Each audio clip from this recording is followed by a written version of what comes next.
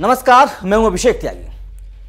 समुद्र की तलहटी में एक से बढ़कर एक रहस्य भरा हुआ है। वो कभी किसी जहाज़ की शक्ल में मिलते हैं तो कभी किसी नक्काशीदार धातु की शक्ल में। हाल ही में बाल्टिक सागर में भी एक ऐसी ही रहस्यमय चीज़ मिली है। एक टाइपराइटर की तरह दिखने वाली ये मशीन दूसरे विश्व युद्ध के वक्त की मानी जा रही है। माना जा रहा है कि दूसरे विश्व युद्ध के वक्त हिटलर के अफसर इस मशीन का इस्तेमाल करते थे।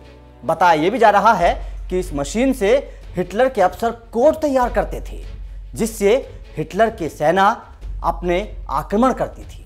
दरअसल वाइड एंड फॉर नेटर की टीम बाल्टिक सागर में समुद्र के तल में मछली पकड़ने के जाल निकालने गई थी। बीच समुद्र में जाकर गोताखोरों की एक टीम को मशीन की तरह अजीब सी चीज़ दिखी। बाद में जब इस मशीन के बारे में पुरातत्वविदों ने बताया तो हर कोई हैरान रह गया, क्योंकि ये कोई सामान्य मशीन नहीं थी, बल्कि हिटलर के समय की एक कोडिंग मशीन थी, जिसे एग्निमा नाम दिया गया है। जानकारों ने बताया कि दूसरे विश्व युद्ध के दौरान एनिग्मा मशीन का जर्मन अफसरों ने दुश्मन देशों की सेना का भेद लेने के लिए इस्तेमाल किया था। साथ ही जर्मन सैन्य संदेशों को एनकोड करने के लिए हिटलर की नाजी सेना के भीतर इसका इस्तेमाल हुआ करता था। समुद्र की तलहटी में मिली ये एनिग्मा मशीन बेहद खराब हालत में है, लेकिन इतने सालों तक पानी में दबे रहने के बाद भी इस मशीन के कई हिस्से सही सलामत दिख रहे हैं। मशीन में एक कीबोर्ड है और कई सारे रोटार हैं। उम्मीद जताई जा रही है कि ये रोटार ही सिग्नल को इनकोड करने का काम करते रहे होंगे। ये घूमते हैं और संदेश को समझने की कोशिश करते हैं। बड़ी बात यह है कि हिटलर के अफसरों की इस मशीन को समझना उतना आसान नहीं था। बताया जाता है कि साल उन्नीस की दौरान इस मशीन की तकनीक को समझने के लिए पोलैंड की पूरी सेना और इंजीनियर लग गए थे। लेकिन तब नाजियों को इसकी भनक पड़ गई। उन्होंने न केवल उस वक्त इस मशीन के कोड बदल दिए, बल्कि लगातार इस मशीन के कोड को बदलते रहे। ताकि पोलैंड के लोगों को, उनके इंजीनियरों को इस मशीन के संदेश को पकड़ने में दिक्कत बनी रहे और वो इस मशीन के कोड को कभी ना पकड़ सके।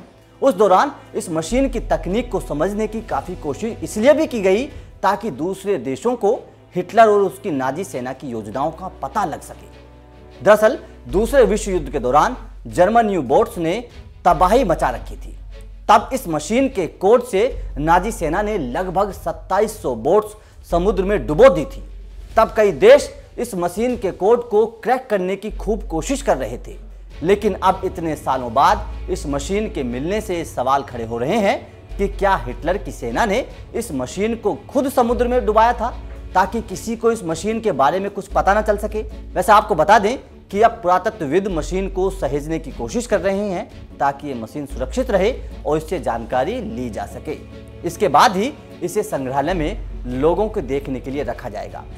वैसे इस मशीन से बात समझी जा सकती है कि जर्मनी पहले से ही तकनीक के मामले में कितना आगे रहा होगा। इस वजह से ही आज भी जर्मन तकनीक को सबसे ऊपर माना जाता है। आपका इस खबर पर क्या कहना है, हमें कमेंट करके ज़रूर बताइए।